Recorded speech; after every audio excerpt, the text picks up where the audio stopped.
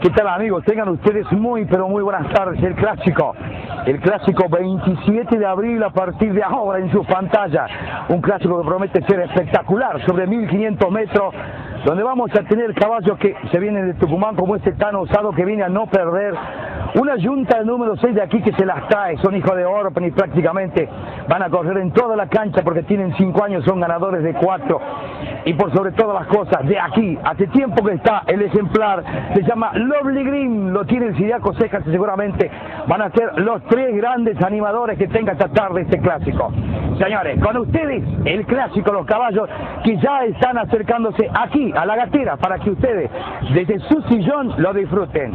A ver el clásico. Bien amigos, vamos a lo de 1500 metros, el clásico Autonomía Provincial, el 1 Mandalay Bay, el 2 Lovely Green, el 3 Crack, el 4 Faeca, el 5 Duratip Pride, el 6 Tramon, el 6 Whiff, el 7 está Osado, el 8 Irursun, está la lista completita, señores, la gatera completita, todo listo para la suelta, nosotros agarramos la parte de atrás de la gatera, fíjense, fíjense en que se produce la suelta y fíjense en el número 1, en el número 1 Mandalay Bay que va a ser la punta, la punta la agarra Mandalay Bay, la tropa por supuesto son 1500 metros, lo sale a correr, pero prácticamente, vete si quieres, pero hasta ahí no vas, Mandalay Bay que prácticamente no hace caso a la tropa y la tropa prácticamente que comienza a quedar atrás, Mandalay Bay sigue su camino, viene por el opuesto, el opuesto es totalmente de él, la tropa viene realmente muy atrás, más o menos 7 cuerpo viene corriendo atrás la tropa.